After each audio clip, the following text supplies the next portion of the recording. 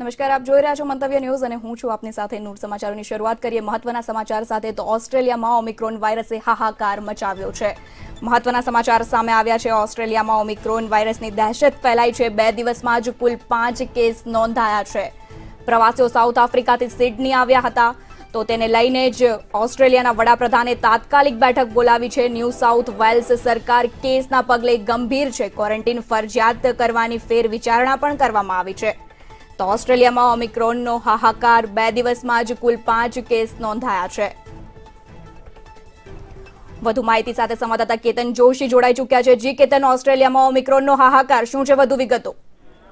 જી, ઓમિક્રોનના case વધી રહ્યા છે કારણ કે બોર્ડર ઓપન કરી દેવામાં આવી છે અને ત્યારથી અત્યાર સુધીમાં સિડની એટલે કે સાઉથ આફ્રિકાથી સિડનીમાં અસંખ્ય સાઉથ આફ્રિકન પ્રવાસીઓ આવ્યા છે.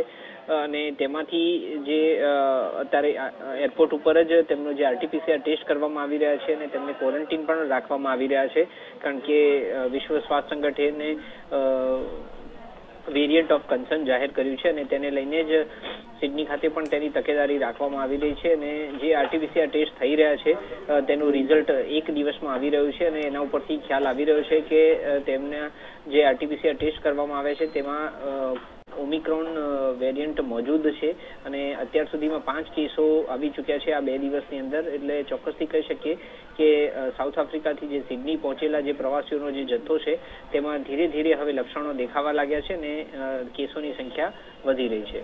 જી. જી, કેતન, આભાર સમગ્ર માહિતી આપવા બદલ. તો વિશ્વભરમાં ઓમિક્રોનનો હાહાકાર મચ્યો છે. આ સાથે જ ઓસ્ટ્રેલિયામાં પણ બે દિવસમાં કુલ પાંચ કેસ નોંધાયા છે.